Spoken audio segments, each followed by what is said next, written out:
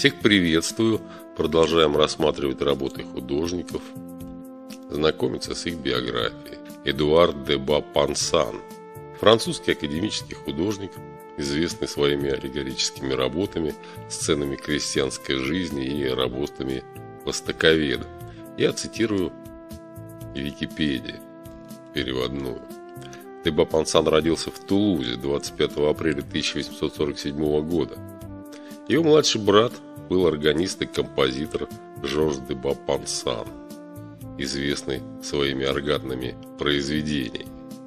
Деба Пансан, ученик Кабанеля, был известен своими портретами богатых горожан и политиков Парижа, картинами из древней истории и сценами крестьянской жизни – 1877 году отправился в Италию благодаря сумме в 4000 франков, предоставленной ему Академией. Начал писать портреты. В 1882-1883 годах совершил поездку в Стамбул.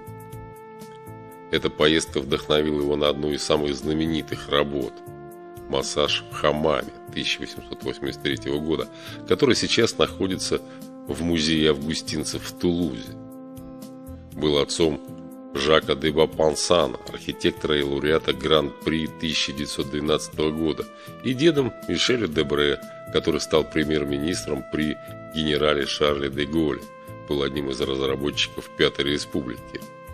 Деба Пансан – лауреат Большой римской премии в 1912 года.